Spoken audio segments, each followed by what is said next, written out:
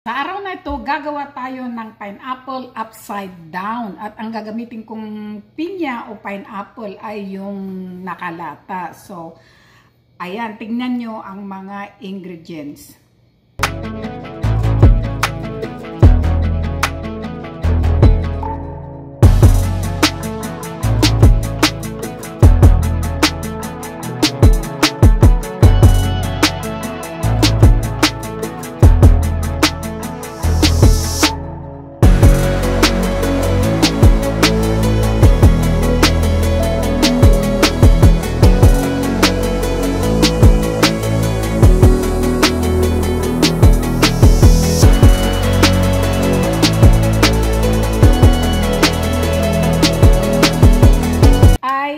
Paghaluin natin yung brown sugar natin at saka yung melted butter. Haluin natin mabuti.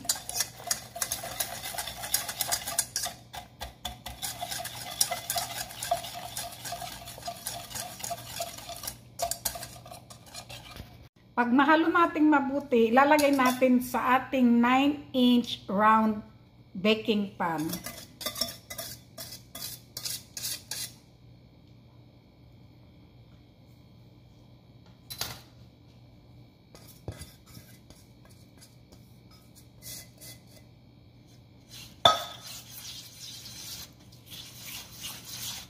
Ayan, ganyan siya. At isasantabi natin ito, gagawin na natin ang ating cake butter. ating cake butter, lalagay natin yung dalawang itlog.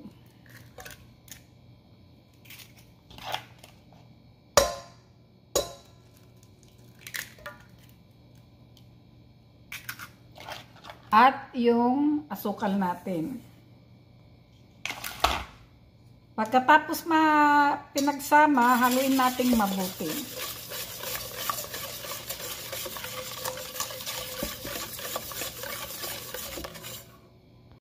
Natin yung itlog at asukal, ilalagay natin yung 1 teaspoon na vanilla.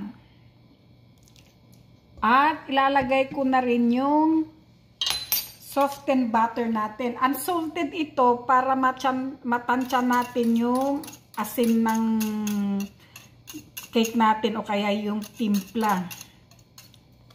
Kasi minsan, pag salted butter ang gagamitin natin at lagyan natin ng asin, hindi natin matatansya yung lasa niya. Minsan, baka maalat, ganon. Katapos natin mahalo, ilalagay na natin yung harina. Uh, isisip natin o kaya sasalain natin. At ilalagay ko na rin yung baking powder.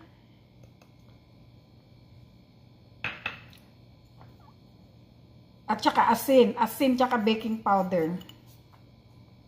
Ngayon sasalain natin.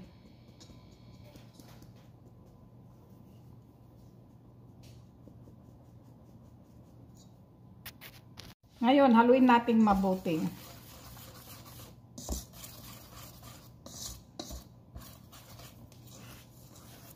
Pwede na natin ilagay yung pineapple juice. Ito ay yung galing sa dilatang pinya. Bali kalahating tasa yan. Kaya pineapple juice ang ginamit ko uh, imbis na gatas para mas malasa natin yung pinya uh, ano niya flavor. Haluin natin mabuti hanggang wala nang buo-buo.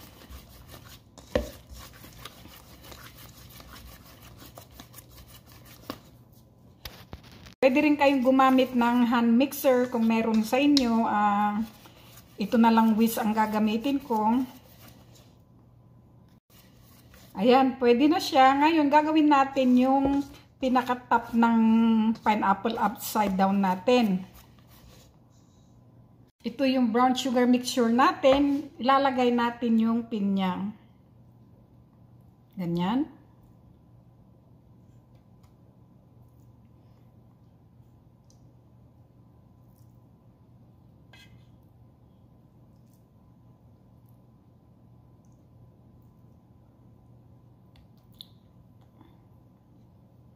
Ayan, eksakto, bali pito na pineapple rings ang nagamit ko. Ngayon, lalagyan natin ng cherry sa pagitan ng butas ng pinya. Para may dekorasyon, di ba? Ang ganda. Ayan. Pag ginagawa natin tong cake natin, dapat naka, naka-preheat na yung oven ginagawa natin itong cake batter natin or cake mixture natin, naka-preheat na yung oven ng 350 degrees Fahrenheit at lulutuin natin ito ng mga 30 minutes.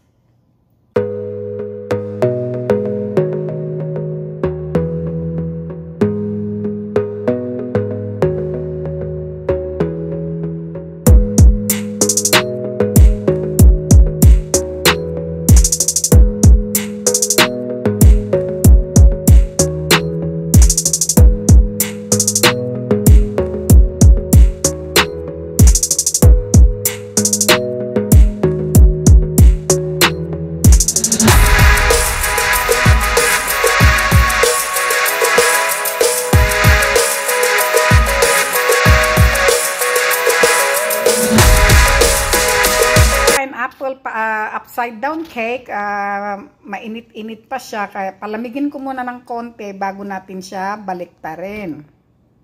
Malamig ng ating cake, ngayon babaliktarin natin. Pero bago natin baliktarin, ilulusin natin yung gilid para madali natin mabaliktad. Medyo okay siya. So, ayan. Kuha tayo ng plato. At ganyan.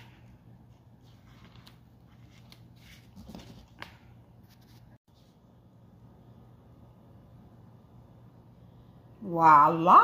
Ang ganda-ganda. O, oh, di ba? Ang bango. Mmm. Ang ganda.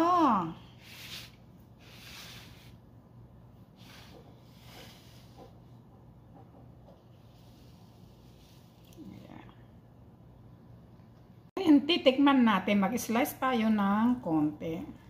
Uy, very moist, malambot.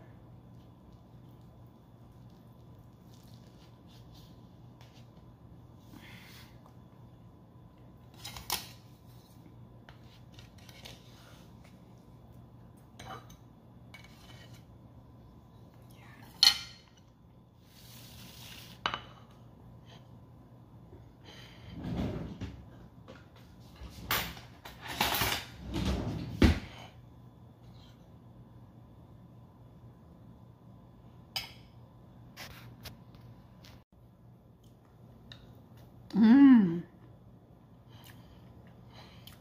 Masarap siya guys. At saka napaka-moist nung cake. Tama lang yung timpla, hindi masyadong matamis. Mmm.